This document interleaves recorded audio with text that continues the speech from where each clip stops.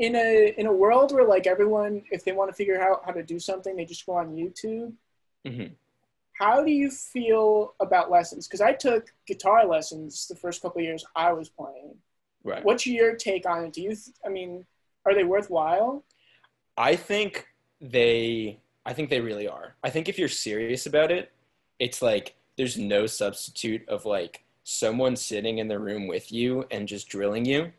I think that is invaluable, but it's also like really not easy to get. Like it, it it's the kind of thing where like we were so lucky because we had this great um, music lessons place like down the road from our high school Yeah. um, and this awesome drum teacher pat petrillo running it and i was like like me and my parents were like oh sick like it's right there um, so in that way it was really convenient like we were lucky enough to to the point where we could afford it. So um, i think that part of it is is definitely not like it's definitely tough. Um, but i think like if you have the the resources and the privilege to do that then like it's invaluable. You know what i mean? Um, I, I think you it's not that you can't it, like get the same results without it but I, it, it helped me immensely. Yeah. Did you ever do lessons, Eric? I was gonna say, as someone who is entirely self-taught, I wish that I that I took lessons because I'd probably be a lot better. No, you're But- sick. But, like- it's yeah, but I but I would be better if I if I took lessons. well that's the thing is that the i think the other side of the coin though is that Mhm.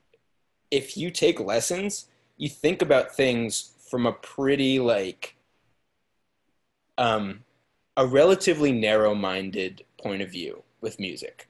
Like Mhm. you, you think like I gotta play in time, I gotta yeah, uh, uh, uh, catch these phrases. You're thinking very like very much like a player in an orchestra, if that makes sense. Mhm. Um, but like I think without that, without lessons, I feel like so many of the people I've met, including you, Eric, have a much more broader view of music in general. You're like, I, I'm not just necessarily like one musician out of many in this ensemble. You're like, oh, like we should like jam, like just play something freeform. We should like just write this stuff ourselves. And like I think you're much more open to like cool creative ideas if you have that um more open-minded mindset. Mhm. So like that's It's something always- that I wish I had. It's always really fun to try and um, describe like a part of a song to you. Like when we're when we're either writing a song or like practicing something out, I'll be like, "Oh, um, how about at that part where we do that thing? How about you do this thing instead of that thing?" Yeah. I have no idea any words to use. I'm just I, I'm like a caveman trying to trying to describe something. I always get a kick out of it, and and you're you're usually pretty good at knowing what I'm talking about. So, yeah, that's the thing is that I like appreciate that. You don't need to know the language exactly to know to pick up what someone else is putting down, you know? I mean, it, Mhm. it's not that it doesn't help, but it's like you don't need it. So But I Mhm. think I think you hit the nail right on the head, David, because I talk about this regarding Jake a lot because Jake is all self-taught, and Mhm. he just started writing music on a whim, like never studied music theory or anything like that.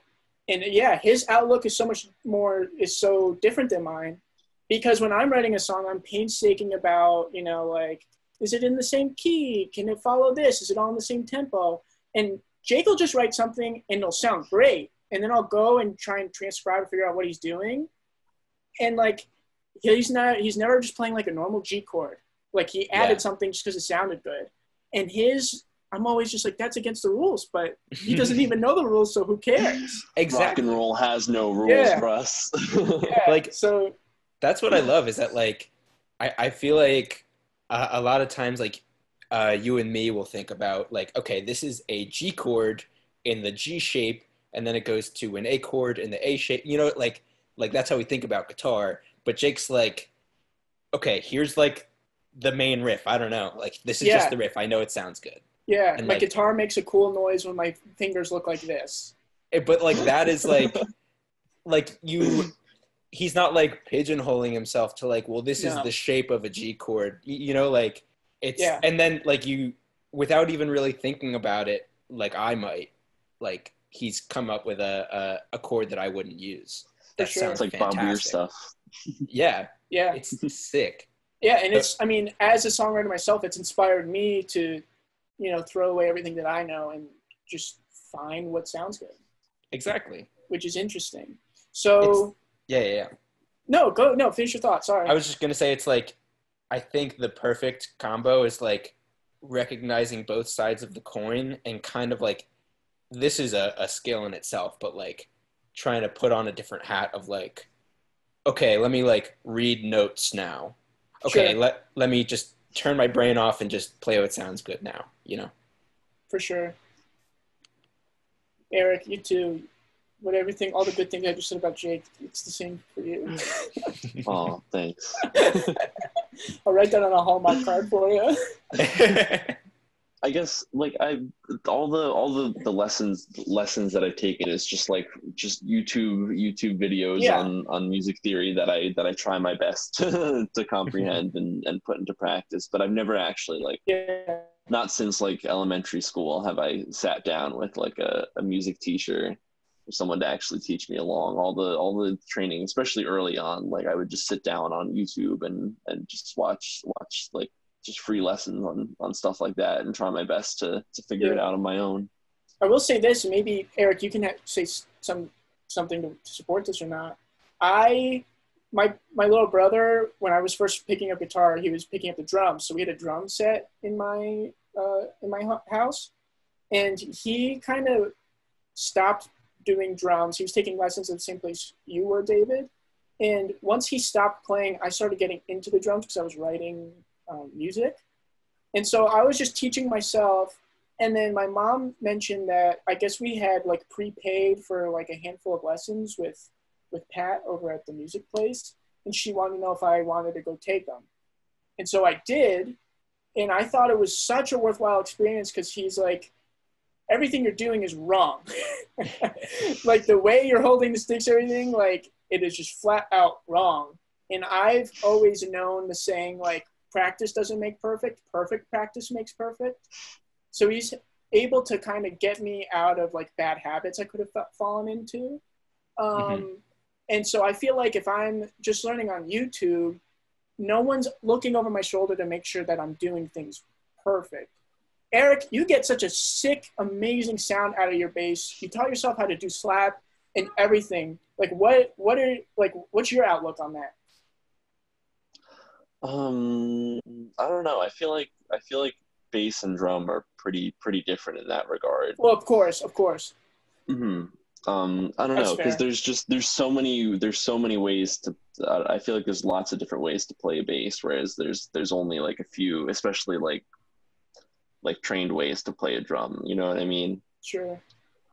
Yeah. Touche. I, I think like like um bass like it's certainly like like drums it's, it's like a whole dance you know it's like all the Mhm. movement like so there's so many kind of precise movements that you can analyze Mhm, and I, I think Yeah. bass yeah it's definitely harder in that way mhm. um and I would usually just watch like just watch concerts of, of bands I liked. I would I would watch I would I remember the first the first song I ever learned in full I was was I Got a Feeling by the Beatles and I would I would watch I was like 14 or 15 and I'd watch that rooftop video and I would just watch what Paul McCartney was doing and I would I would try my best to kind of like to kind of to kind of copy him.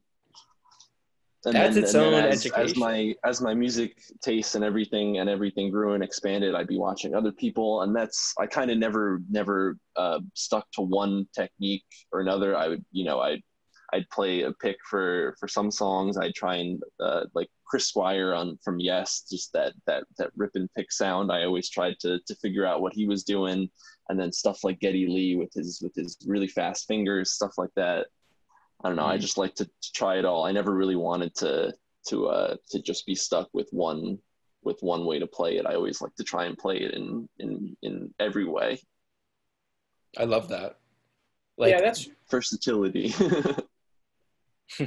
That's great. And that's the Beatles, I've Got a Feeling, which is a cover of the Black Eyed Peas, I've Got a Feeling. yeah, Yes. yeah. They actually little known they- fact it wasn't a cover. They just straight up ripped it off.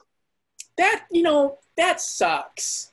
Yeah, uh, there was Paul McCartney gave no credit to will.i.am, Fergie, uh, apl.de.ap, or Taboo. You know what? That's so him though. That is so him. I you said those other two names, and th- you could have said anything, and I would have believed you. That's not Will, fair. will.i.am Fergie, Ronald Orange McDonald, juice, Orange. and OJ. Fridge magnet. That's funny because no everyone's respect like, for fridge magnet out here. It's I sad. know. that's funny because everyone forgets George in the Beatles, but in Black Eyed Peas, you forget just like those other two guys. Okay, But yeah, so Taboo and apl.de.ap are the are the George. I'm not done with this. Apple Okay, no, finish- finish it. apl.de.ap and Taboo are the George Harrison of Black Eyed Peas. There, I said it. well, don't they? Didn't they both go off to have attempt solo careers? Uh, I don't know. Come on, man. my my knowledge of them is strictly Black Eyed Peas based. yeah. Fuck. That's I just know Boom Boom Pow. That's it. okay. So I'm a B. Come on, man. Monkey I'm a beast. Business is album of the century.